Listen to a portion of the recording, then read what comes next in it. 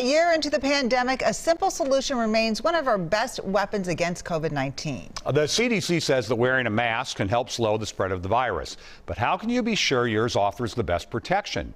WCCO's Jennifer Mayerle shares a simple test from Minnesota scientists in search of the perfect fit.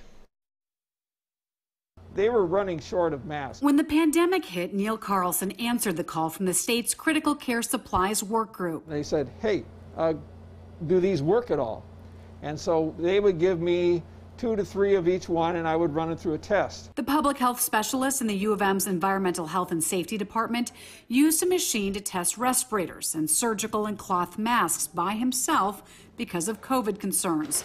Hundreds to check to ensure they passed his test before the state bought and distributed them to the front lines. The fit is really important because if you have any space or gap in the mask, it essentially negates everything you're doing with the filtration. This measures the particles outside and particles inside. Some of them fit very well, other ones were just really poor. They didn't do the the critical work. That work has slowed as the state found trustworthy suppliers. This is kind of on the nose, so I go right off the right, okay. right about there. And Carlson shifted his focus to graduate students and to help Allison Cloyd and Minji Yu formulate a superior facial fit. What we're kind of investigating is if adjustability is a factor that can improve mask fits and efficiency. Okay, breathe in. Breathe out. Air right around the edge. That's where we're probably getting a little bit of leakage. The focus is on healthcare workers, looking at fit factor data and their facial dimensions. My specialty is in the face scanning. To see how cheekbones, nose, and chin structure impact the fit of the mask throughout the day.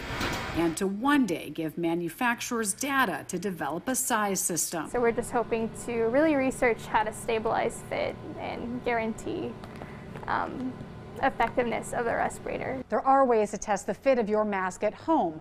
One is the tissue test. You put it out about an arm's length away, blow as hard as you can.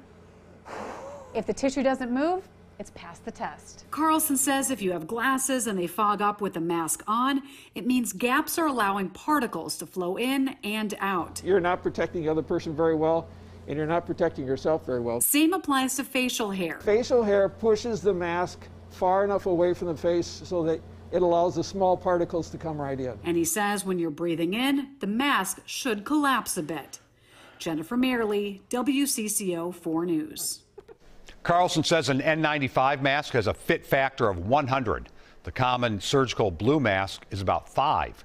That's good, but with the new variants, putting a cloth mask over it would be even better. Doubling up can bring that fit factor from 5 to 20. Carlson says any mask is better than no mask.